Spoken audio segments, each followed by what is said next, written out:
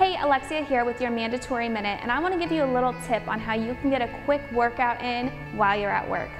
We all have lunch breaks, so if your lunch break is 30 minutes, you could just eat your food, or you could eat your food and you could do a quick little workout, whether it's walking around your office building until you got to get back to work. You could take the stairs, or you could do a quick little circuit of air squats and lunges, or push ups and air squats. But try it out, you're gonna feel more energized through the afternoon. That's your minute, make it mandatory.